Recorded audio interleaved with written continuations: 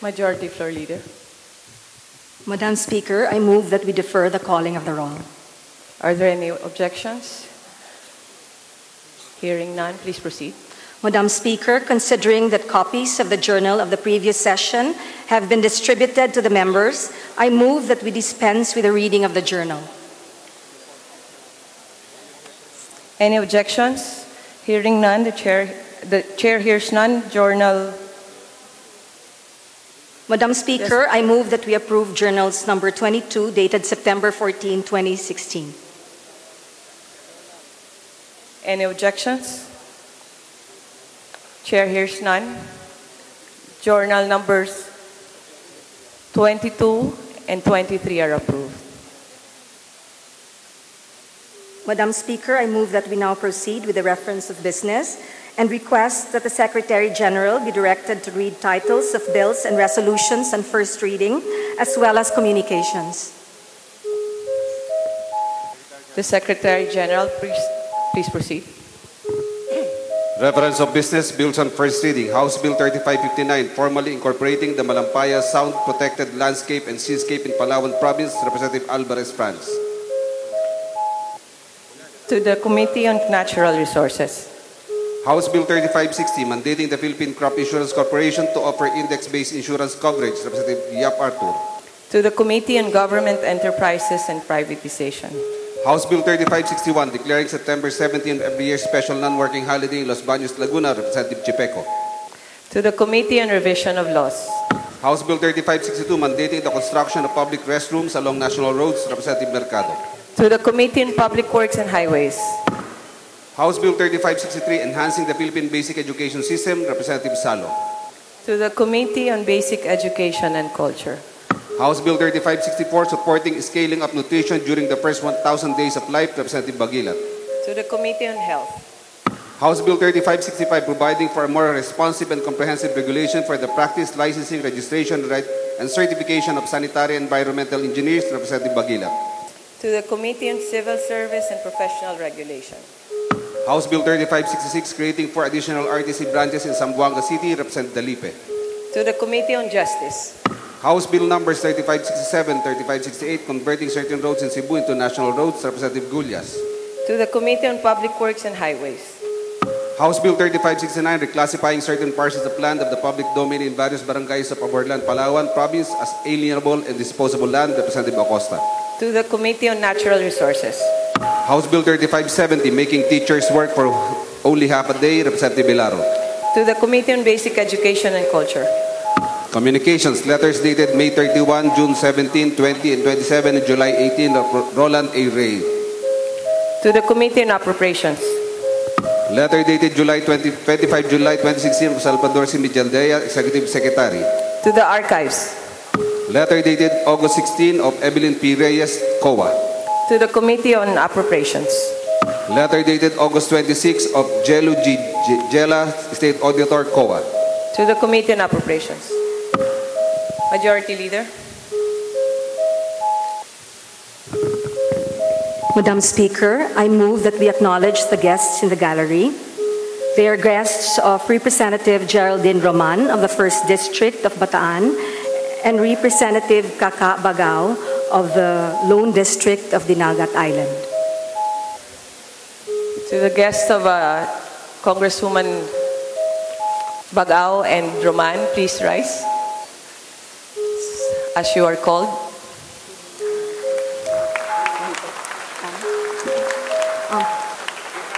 We have in the gallery Ambassador Luis Calvo of Spain, Ambassador Designate John Holmes of Canada, Welcome to the House of Representatives. Ambassador Kok Li Peng, Embassy of Singapore to the Philippines,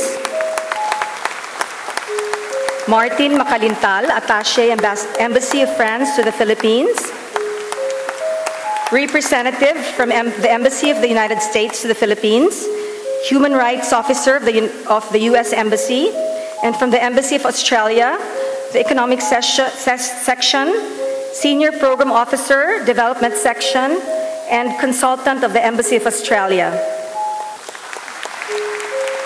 From COMELEC, we have Commissioner Rowena Guanzon, The, we have the Vice President of Philippine College of Criminology, Emilita Apostol Alvarez, the President of the Congressional Spouses Foundation Incorporated, former Congressman Willa Villarama and family, Willie Villarama and family,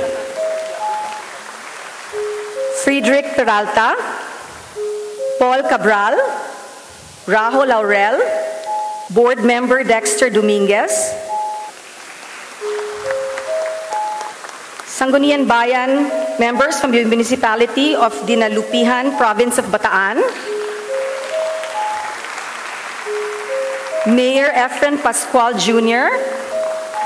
from the municipality of Orani, Vice Mayor Godofredo Galicia from the municipality of Orani, and the Sangguniang Bayan members of the municipality of Orani. Welcome to the House of Representatives. We also have Cynthia, Mayor Cynthia Estanislao and former Mayor George Estanislao of the municipality of Morong.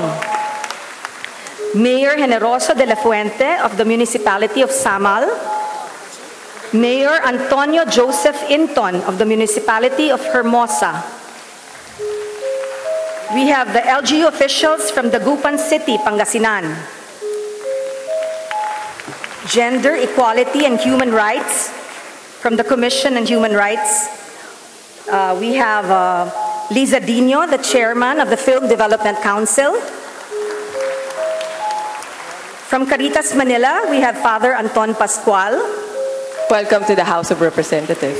And uh, Madam Speaker, we have uh, members of various organizations present here. The follow, uh, Gay Alliance for Len Alonte, or GALA. Welcome to the House of Representatives. Rotary Club of Makati.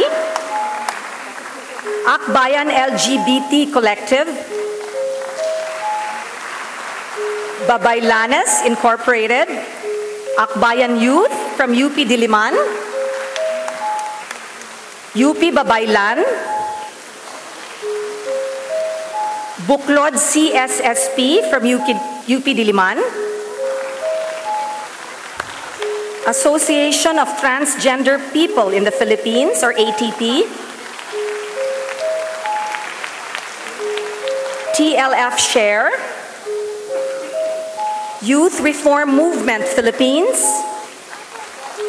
Gender and Development Advocates, or GANDA Pilipinas. Amnesty International Philippines Youth. Circle of Public Administration and Governance from PUP Manila. Metro Manila Pride. ASEAN SOGIE Caucus. Philippine LGBT Chamber of Commerce. Team Magazine. LGBT politician. Rainbow Rights. Ang Ladlad.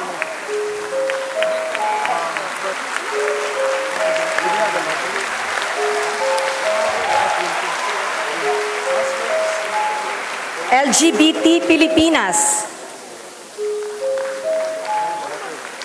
ASOG. LGBT Bar. Welcome to the House of Representatives. LGBTF Christian Church. Galang Pilipinas. Galang Philippines. Bahaghari. We also have Gabriela Youth. Gabriela Women's Party. Kabataan Party List. Kalika UP. Ganda Filipinas. Trans Brotherhood of the Philippines. Lesbian, gay, bisexual, transgender, queer, LGBTQ. Alyansa ng mga mag-aaral para sa panlipunang katwiran at kaunlaran, UPD and guests from the 1st District of Bataan. We also acknowledge Raymond Ang, BJ Pascual, Martin Bautista, and Bong Prada Lim.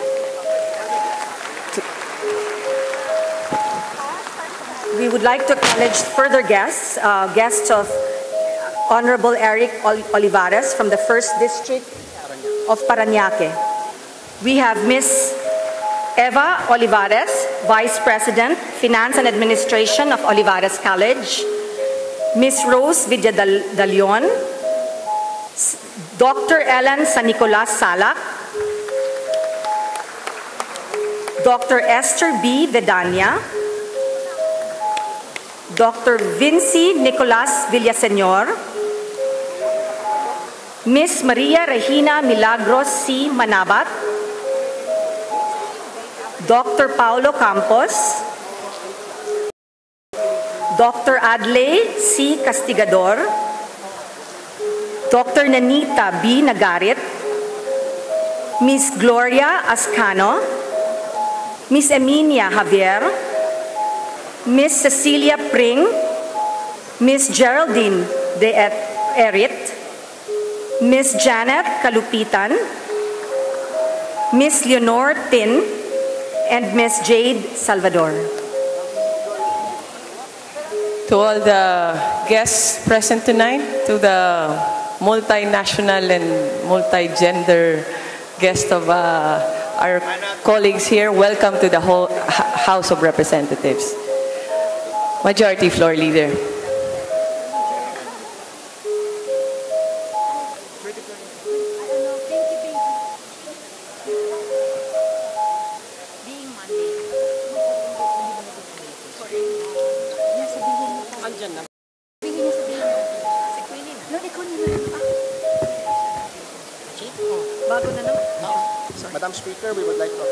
Madam Speaker, we would like to acknowledge um, Miss, from Miss Janelle Mae Frayna, the first female Grandmaster of the Philippines, and her party. Welcome to the House of Representatives. Please rise. We have, of course, Miss Janet May Ferna, Mr. Eugenio Torre, Mr. George Frayna, Mrs. Sonia Frayna, Mr. Don Marifil Frayna, Okay na to. Mr. Jason Gonzalez, and Mr. Leo. The Philippine chess team, men and women. Uh, this is sponsored by our representatives, Representative Joey Sarte Salceda, Representative Edsel C. Lagman, Representative Fernando V. Gonzalez, Representative Rodel M. Batocabe, Representative Alfredo A. Garbin Jr., Representative Christopher S. Co., and Representative Prospero A. Pichay Jr. To the Philippine chess team, welcome to the House of Representatives. Further, further guests of Representative Madrona from the Lone District of Romblon, Vice Mayor Lloyd George Fegalan, Sangguniang Bayan members Please, Felix, please rise as your names are called. Sangguniang Bayan members Felix Berto Fadrilan, Tessie Fajut, Alan Fabula, Jefferson Famadico, Patricio Flores, Imelda Fietas, Carmelita Federanga, and the Secretary, Michael Fadralin. Fadralan, sorry. Welcome to the House of Representatives.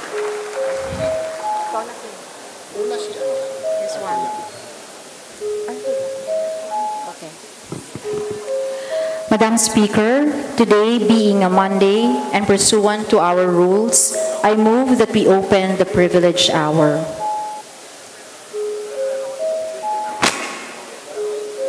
Is there any objections?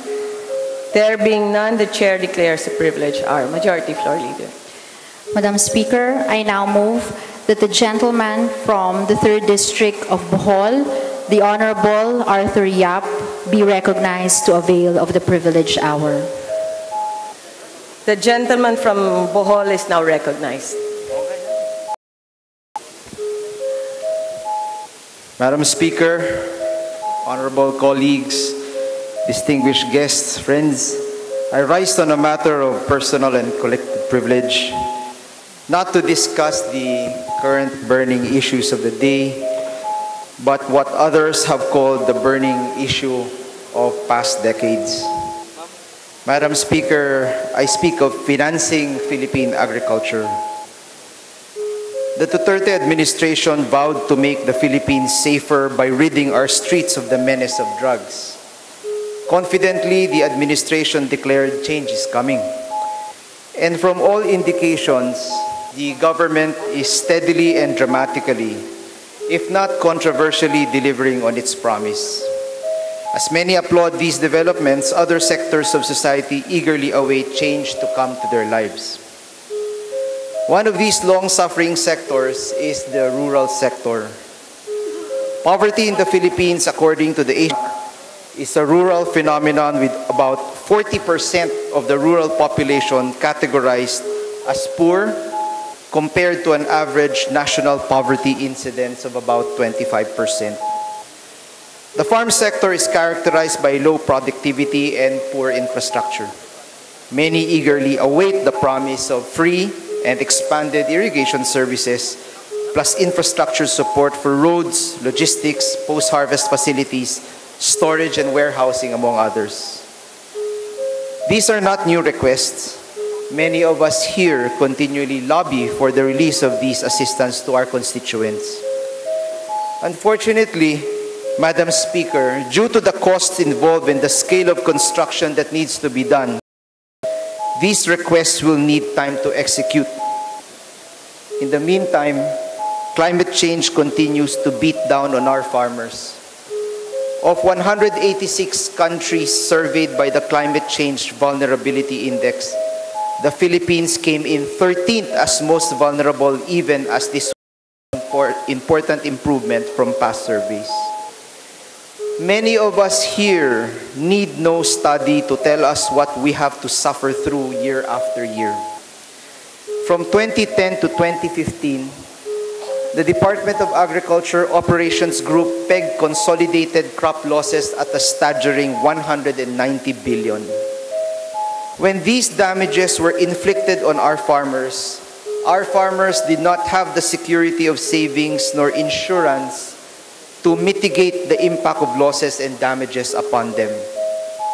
In fact, Madam Speaker, effectively, insurance is absence due to the fact that our insurance products are defectively designed in the Philippines. Agriculture crop insurance continues to be peril or indemnity based today. This means that farmers pay premiums. It is no wonder, Madam Speaker, that crop insurance is not popular in our country. Data gathered from the Philippine Crop Insurance Corporation bear this out. During the period 2010 to 2015, when consolidated losses summed up to 190 billion, payouts merely reached 3.6 billion or not even 2% of crop damages. Beyond laying the blame on PCIC's performance, we have to recognize that the insignificant payout rate may very well be due to the absence of the correct insurance product today.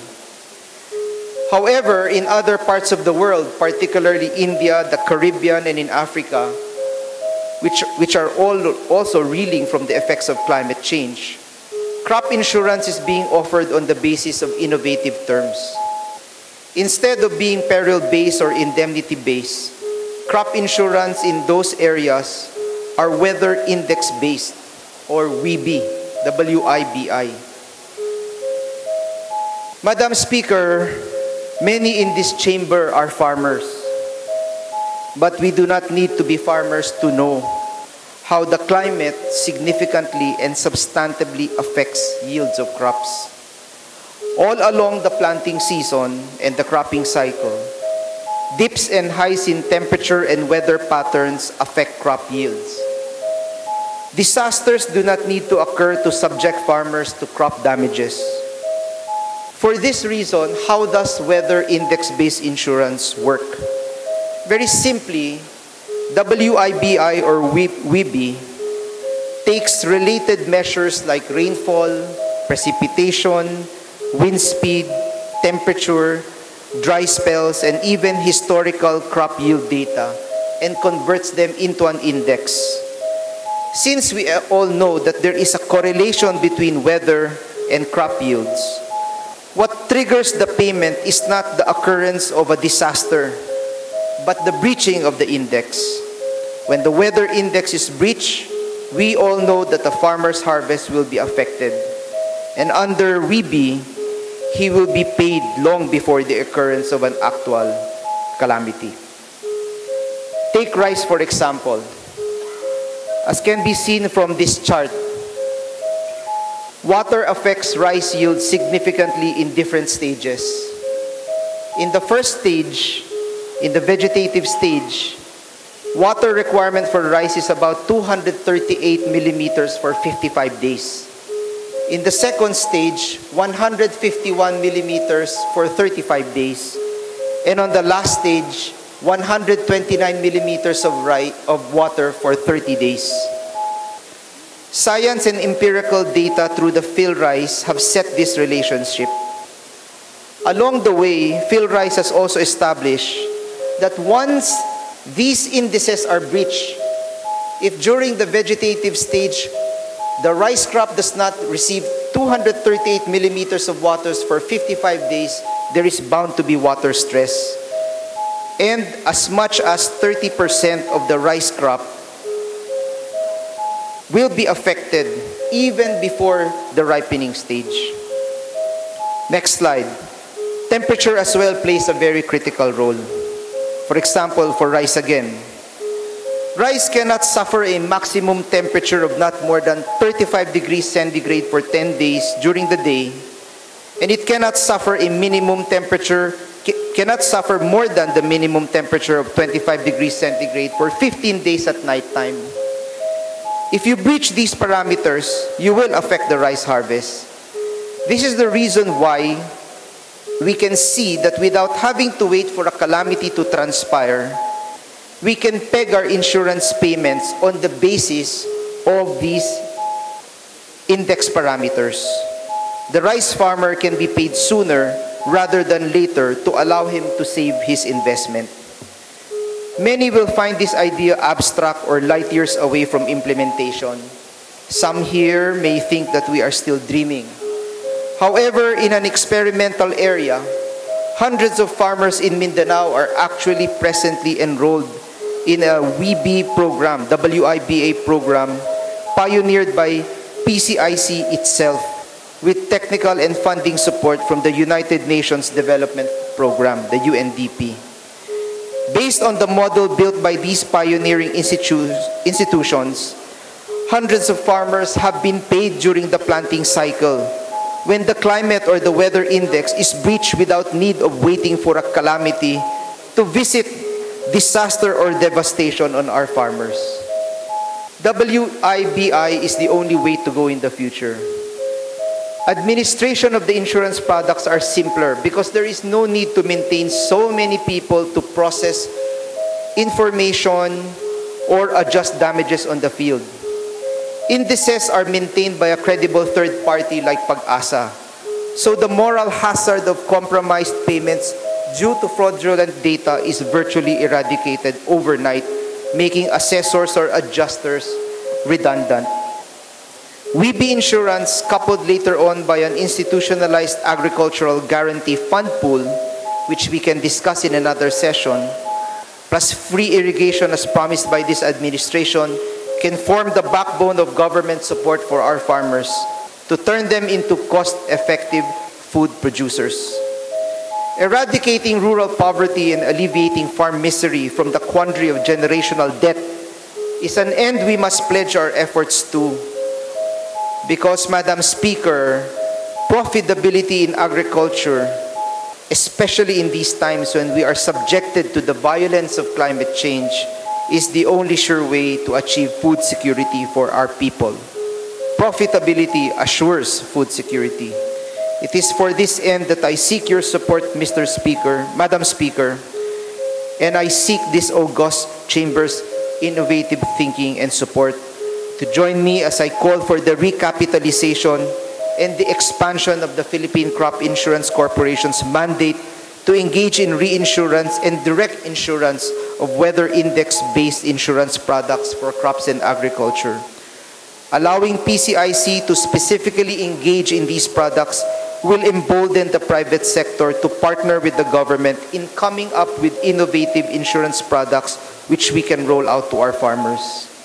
Madam Speaker, colleagues, the tides wait for no man, nor will nature yield its powers to us. We may not have polluted this planet, and yet we are most vulnerable to climate change effects. Without risk mitigating instruments like these to ensure capital flow and risk transfers in agriculture, our farmers stand no chance to escape the poverty trap brought upon by the stream of never-ending debts resulting from weather-related crop losses. The time to act was yesterday, but some say the time to act was even decades ago. Yet even so, we can still act now to save our farmers rather than sit by in hopelessness and inaction. Madam Speaker, thank you very much. Majority Floor Leader. Madam Speaker, I move that we refer the speech of the Honorable Arthur Yap to the Committee on Rules for its appropriate action. Is there any ob- objection? Hearing none, the motion is carried. Madam Speaker, next to be recognized is the Chairman of the Appropriations Committee from the 1st District of Davao City, the Honorable Carlo Nograles. Madam Honorable Speaker. Cogra- uh, Nograles is recognized. Thank you, Madam Speaker. Madam Speaker, dear colleagues, on Friday, September 16, 2016, the chair of the Senate Committee on Justice presented a surprise witness in the Senate hearing on extrajudicial killings. This witness was indeed a surprise. Even the chairperson of the committee that was jointly conducting the hearings on extrajudicial killings was not informed of his appearance before the committee to what and for what purpose he was to testify. This surprise witness was also full of incredible surprises. First off, he claimed he was a hired killer with an incredible kill record of around 1,000 murders perpetrated singly and or in cooperation with other hired killers in the most savage and heinous ways imaginable. Even the most murderous cinematic villain could not measure up to his record of kills. Among the surprises that came out of his mouth was his claim that upon the orders of then Mayor Rodrigo Duterte, four bodyguards of my father, then Speaker Prospero Nograles, were kidnapped and killed during the election period of 2010. My father and I have come out to dispute this lie and set the record straight. No one among the security personnel assigned to him during the period or at any other period during his incumbency as representative of the 1st District of Davao or as Speaker of the House of Representatives was kidnapped or killed. The stories of this surprise witness became even increasingly fantastic as he kept on piling one lie after another in the course of the Senate hearing. What takes the cake, Madam Speaker, is his tall tale of an unarmed man who amazingly survived even after being shot and hit by no less than 30 gunmen firing at him simultaneously. Madam Speaker, daig pa yata si Rambo, Chuck Norris, and Terminator combined. His testimony has since been proven to be a litany of lies. One by one, people with facts and evidence at their fingertips came out to unravel one lie after the other. Madam Speaker, we all know of the legal maxim, falsus in uno, falsus in omnibus. This surprise witness has turned out to be nothing but a false witness. And it is lamentable, Madam Speaker, that this false witness was presented before a Senate hearing by the chair of a Senate committee without informing the committee members about the existence of this person? Was there even a vetting procedure to validate the claims of this witness? More lamentable was how the chair of the Senate committee was aiding the false witness, clarifying and explaining testimonial details and facts as if she was the witness herself.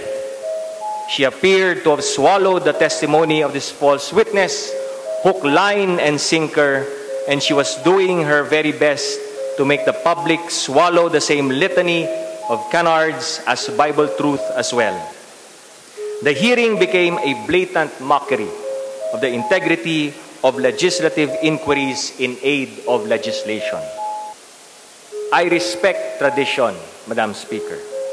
I am fully aware of the unwritten rule of inter-chamber courtesy.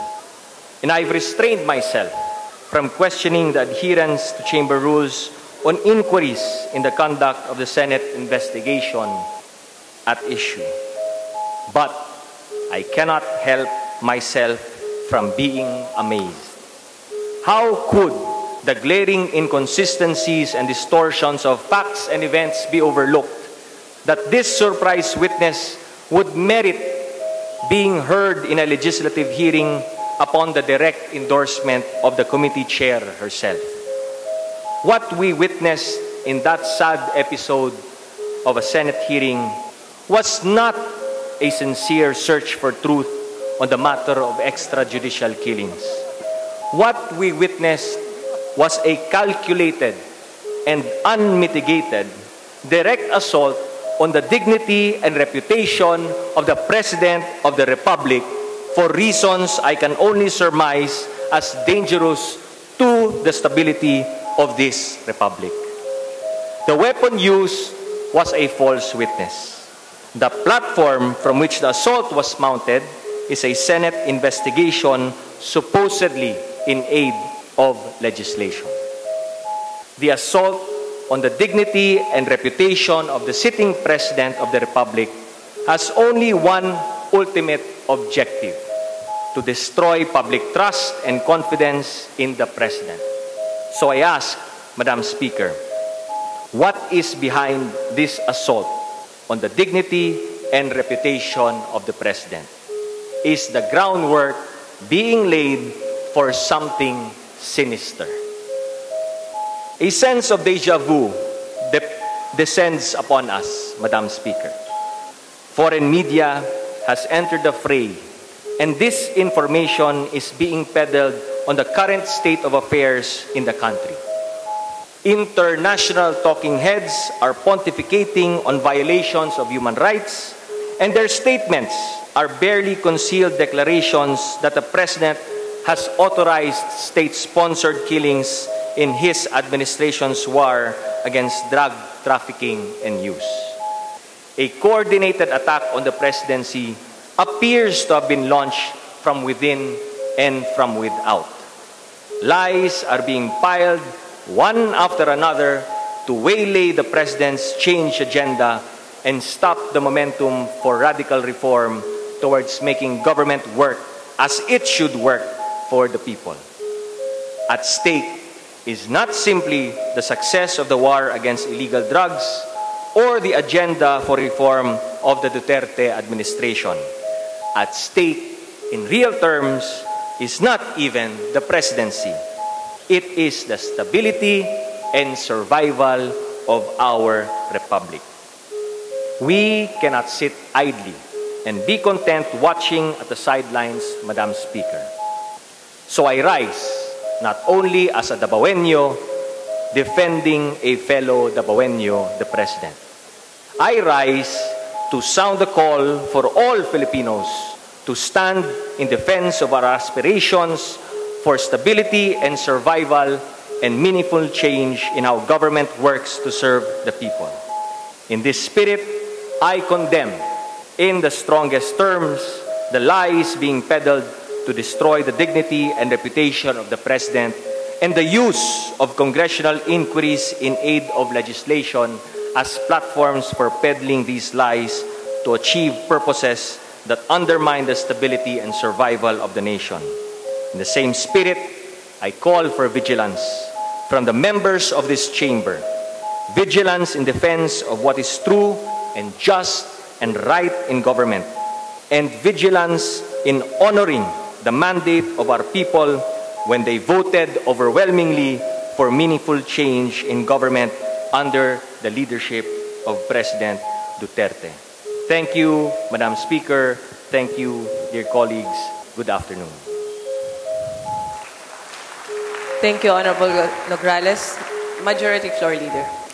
Madam Speaker, the Honorable Nograles has indicated that he does, he does not wish to be interpellated. With that, I move to refer the speech of the Honorable Nograles to the Committee on Rules for its appropriate action. Is there any objection? The chair hears none. The motion is approved. Madam Speaker, next to be recognized is the lady from the 1st District of Bataan, the Representative Honorable Geraldine B. Roman. Representative Geraldine Roman of the 1st District of Bataan is recognized. Madam Speaker, I rise on a question of personal and collective privilege. I say personal, from the innermost recesses of my heart and my memory, because part of what I am about to share with the members of this august body and with our visitors in the galleries was written by my late father, Tony P. Roman Jr., a former member of this House and a friend to many of you. Tony Roman was the epitome of a macho politician with his iconic mustache and charming good looks. He is remembered as a legislator with a gift of eloquence and communication, as well as a much appreciated sense of humor expressed with his baritone voice. Former Congressman and now UN Ambassador Teddy Boy Locsin once described Tony Roman as a sharp lawmaker who drafted laws like an experienced surgeon cuts with a knife. But you know what?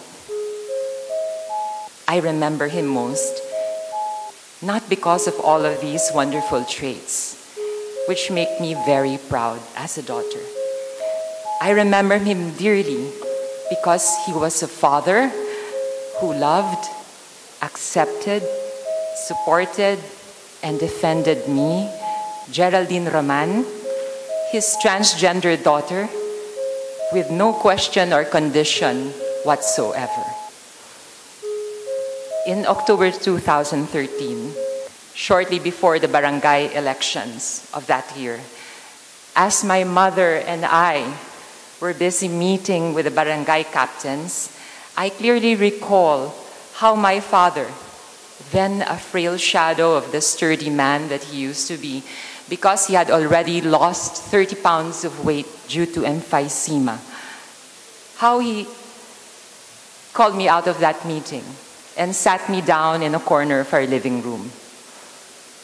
He held my arm and said, Jerry, I know you're going to make it as a congresswoman. How I pray I will still be around when you make it.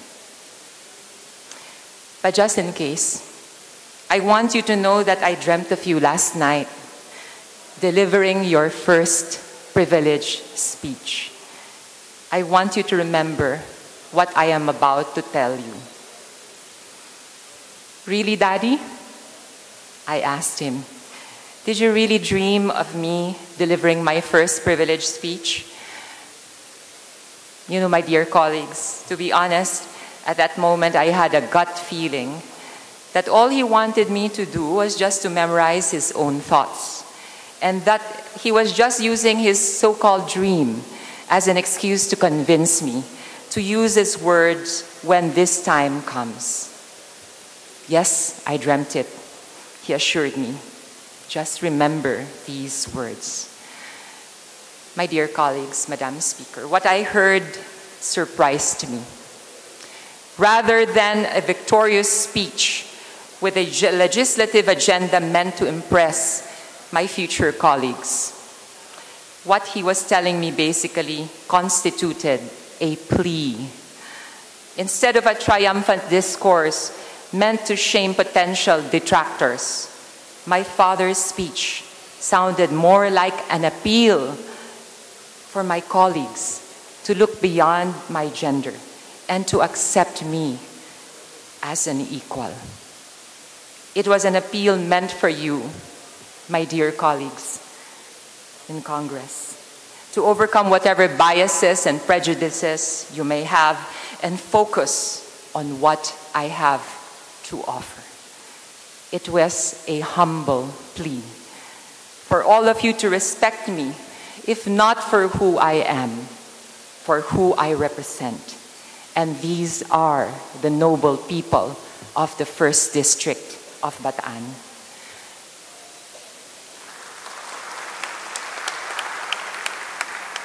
The better part of me could not imagine saying these words, these words of supplication, but I could understand where those words were coming from. Here was a father who was dying. He was not questioning my qualifications nor my ability to win. But he knew perfectly well that for me to be an effective lawmaker, I had to gain the respect of my colleagues. And my father, he was willing to beg for that respect, all for the sake of his transgender daughter. If my father could hear me now, I would tell him this Daddy, you and I need not beg my colleagues for respect.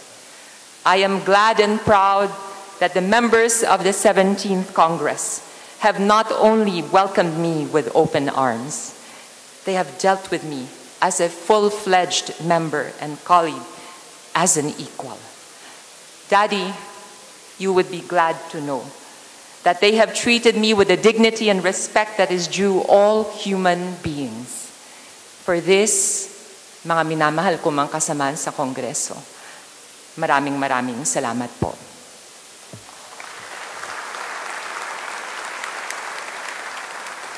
Nais din ng LGBT community. Pasalamatan ang aking mga kasamahan sa Kongreso na lumagda bilang co-authors ng Anti-Discrimination Bill on the basis of sexual orientation and gender identity. Nakikita niyo yung mga rosas sa mesa ninyo?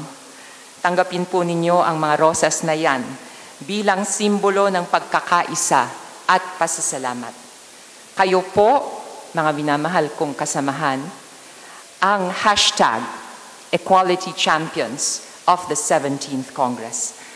Palakpakan po natin ang ating mga equality champions. Madam Speaker, my dear colleagues, I stand before you on a question of personal privilege, but I also speak to you on a matter of collective significance.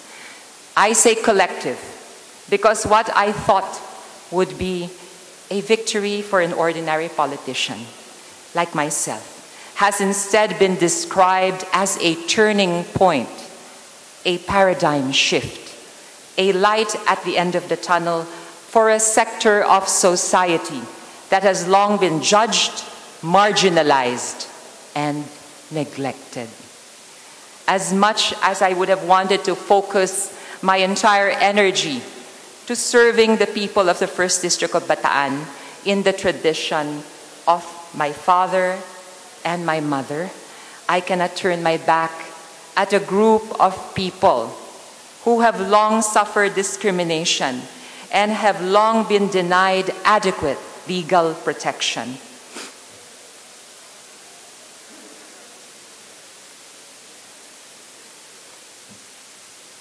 How can I turn my back?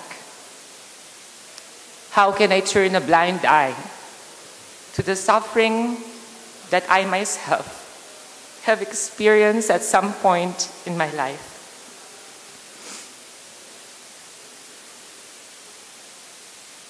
My dear colleagues, you know who I am talking about. We are your brothers. We are your sisters your sons and daughters, your nieces and nephews. We are your family. We are your friends, your schoolmates, your colleagues at work, your Twitter and Facebook buddies, your neighbors. We are part of society. We laugh, we cry, we love and yearn to be loved. We are human beings. We love our families. We love our country. We are proud Filipinos who just happen to be LGBT. So the question is now, do we as members of the LGBT community share the same rights as all other citizens? Does the state grant us equal protection under our laws?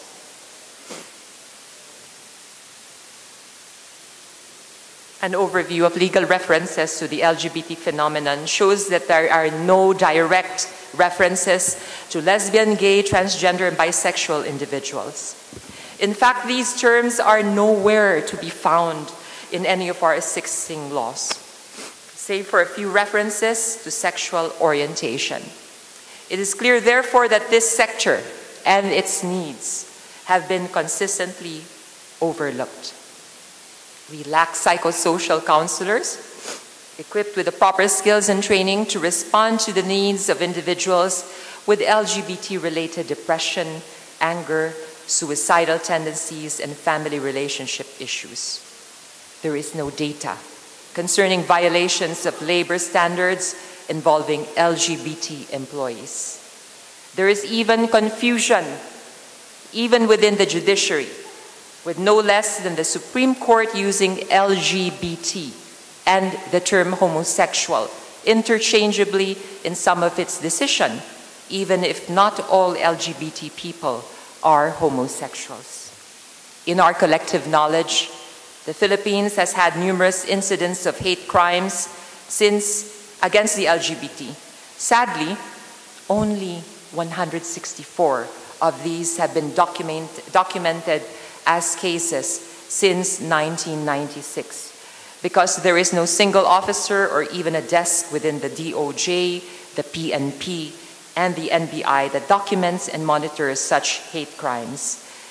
And when in June of 2011, the Human Rights Council introduced a joint statement urging states to end violence, criminal sanctions, and related human rights violations based on sexual orientation and gender identity, our own permanent representative to the UN did not support it.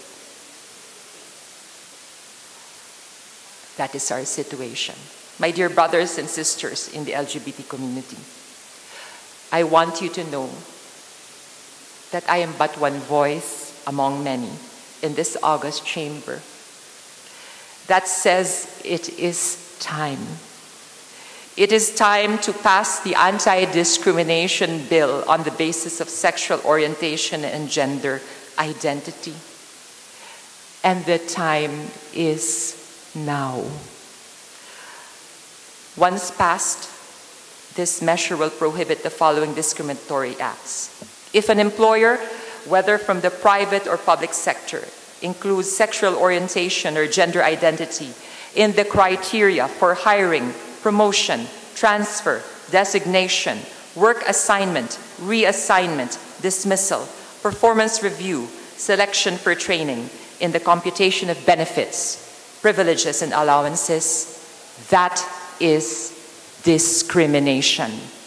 If a school or any educational or training institution refuses to admit a student or participant or chooses to expel him or her solely on the basis of sexual orientation or gender identity, that is discrimination. If a school imposes disciplinary sanctions, penalties, restrictions, and requirements harsher than the usual that infringe on the rights of students on the basis of sexual orientation and gender identity, that is discrimination. When a student or trainee is harassed, punished, or restricted due to the sexual orientation or gender identity of his parents or legal guardians, that is discrimination. My dear colleagues, if this measure is passed, the Commission on Elections will have no right to prohibit the registration or revoke the accreditation of an LGBT organization based on sexual orientation, just like what they did to Ang Ladlad party list. Never again should such an outright rejection and blatant act of discrimination by a government agency based on sexual orientation and gender identity be permitted under our laws. The bill also underscores the right of every LGBT individual to have access or use of establishments, facilities, utilities, or services, including housing. Bakit naman, bakit naman kaya may mga restaurants at clubs na ayaw magpapasok ng transgender individuals? How different are we from your other patrons? Di ba nagbabayad din naman kami? Ipinagbabawal ng batas na ito ang mga ganitong uri ng diskriminasyon. What if a member of the PNP harasses a person because he or she is LGBT? Then the proposed law will make the officer accountable for his or her actions. Harassment occurs when a person is arrested or placed in custody and subjected to extortion, physical, or verbal abuse because that person is gay and vulnerable. One cannot also force a person to undertake any medical or psychological examination to alter the person's sexual orientation or gender identity without the consent of the person involved, as if we are dealing with a disease that has to be cured. If that person is a minor and below the age of discernment, then the approval of the appropriate family court shall be required, and the office of the Solicitor General can represent that child. Now the question is, now that we, have identified the situations of discrimination, what will happen to those who violate the law? A jail term of not less than one year, but not more than six years awaits. Add to that a fine of not less than 100,000 pesos to a maximum of 500,000 pesos. In addition, the court may sentence the guilty party to community service and to undergo human rights education, including familiarization eh, with and exposure to the plight of the victims. What else does this measure seek to accomplish? Under Section 7, the women's and children's desks now existing in all police stations shall also act on and attend to the complaints and cases covered by this act. Officers assigned to these desks shall undergo appropriate training with a human rights-based approach to include, among others, gender sensitivity, awareness and proper terminology, the dynamics of LGBT relationships, and the proper handling of hate crime investigations. Madam Speaker, my dear colleagues, nais ko lang sanang balikan at dugtungan ang naging panawagan ng aking yumaong ama sa inyo. Sana po, katulad ng inyong malugod na pagtanggap sa akin, ay tanggapin po ninyo ang pagiging pantay-pantay ng bawat Pilipino, LGBT man o hindi.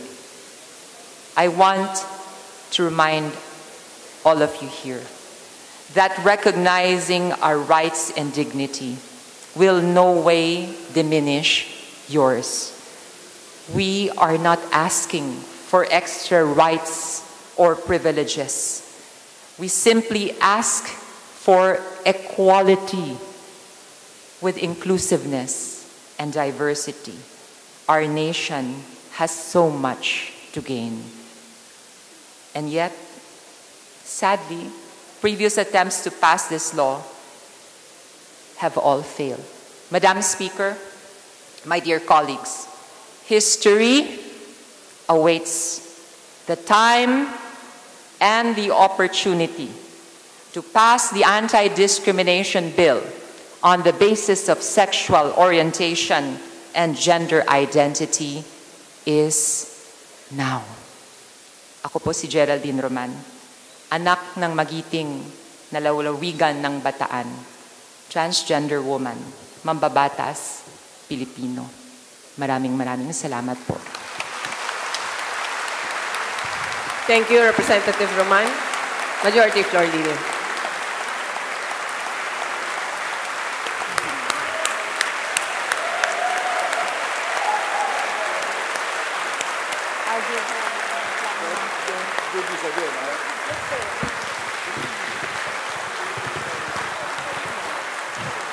Madam Speaker,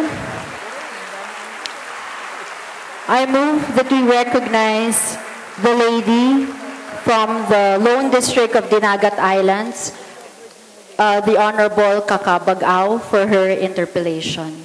Congresswoman Bag-ao is recognized. Thank you. Thank you, Madam Speaker. Madam Speaker, I would like to ask if the representative from the 1st District of Bataan would yield to a few questions. Is Representative uh, Roman willing to uh, entertain some questions? I, I would be willing. Please proceed, Congresswoman Bag-ao. Thank you, Madam Speaker. First of all, before I interpolate the good Congresswoman from the 1st District of Bataan, Madam Speaker, I would like to tell her that long before she entered this chamber as a legislator,